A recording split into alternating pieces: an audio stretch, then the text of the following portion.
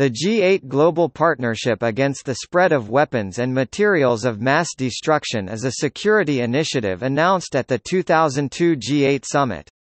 It entails a pledge by G8 members to commit 20 billion United States dollars over a 10-year period towards the elimination and security of some weapons of mass destruction (WMDs) in Russia and former Soviet states.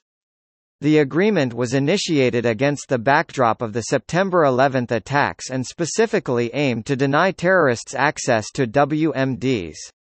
Some of the stated priorities include, destroying stockpiles of chemical weapons, dismantling decommissioned nuclear submarines, safeguarding, disposing fissile material as well as employing former weapons scientists.